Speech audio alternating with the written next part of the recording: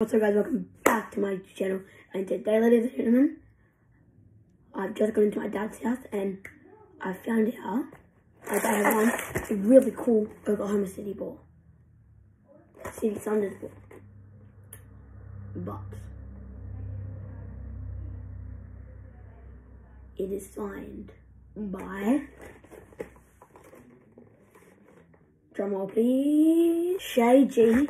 Alexander pretty cool. I just thought I might make a video about it so you might like it. He won in a competition actually. I don't know what competition he hasn't really told me, but kind of stuff. I don't think so myself, but um, it's pretty cool. It's, it's a bowling ball, so it's a proper ball, and it's authenticated by Fanatics. So pretty cool. So quick video today, but make sure you smash the like button, hit the thumbs up, and put turn on notifications to never miss another video. Love you guys so much from the bottom heart, as always. Peace.